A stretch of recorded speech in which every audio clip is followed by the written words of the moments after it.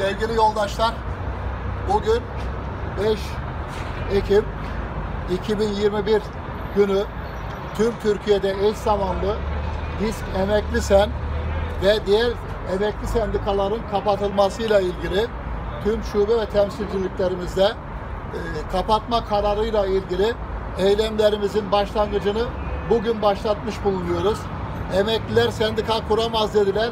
Biz sendikamızı kurduk. Emeklilerin sendikası kurulursa kapatırız dediler. Biz de yargı yolu açık dedik. Yargıda yargılanmak üzere yola çıktık. Bu yol bizim için kutsal bir yoldur. Emeklilerin yoludur.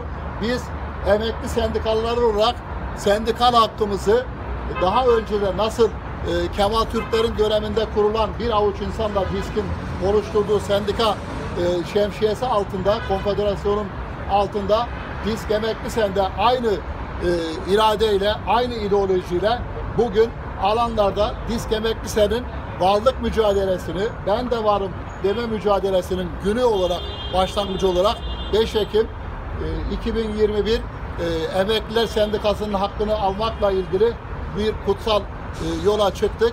Sokaklarda da bu mücadelemize devam edeceğiz. Biz sendikal olarak mahkemenin, mahkemelerin son e, anına kadar, son demine kadar şansımızı deneyeceğiz.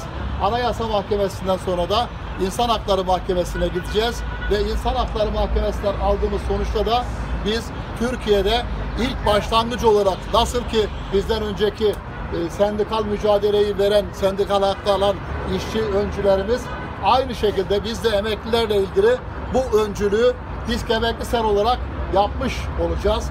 Biz diyoruz ki geçmişten geleceğe köprü bir avuç insan, emekli insan 1995 yılında bu kutsal sendikayı kurdular ve 1900 2019'a kadar bu kutsal mücadeleyi devam ettirdiler.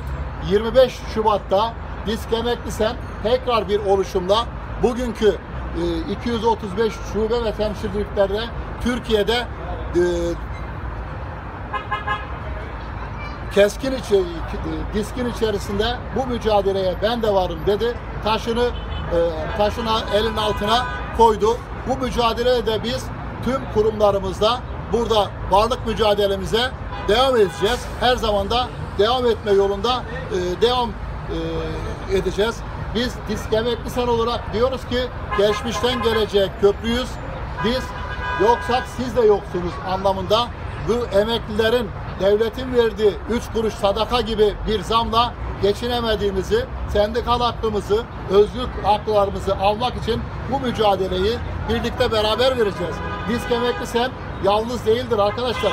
Disk emekli sen tüm e, temsilciliklere, şubelerinde kadın örgütleriyle, emekli komisyonlarıyla, hukuk komisyonlarıyla bu kutsal göreve başladı ve devam ediyor.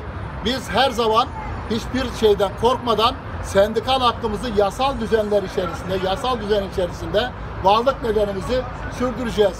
Bugün burada olma nedenimiz e, bu sendikal mücadele, mücadeleyi e, kamuoyuna duyurmak, kamuoyu yaratmak ve sizlerle birlikte bu sendikal hakkımızı beraber birlikte götürmektir.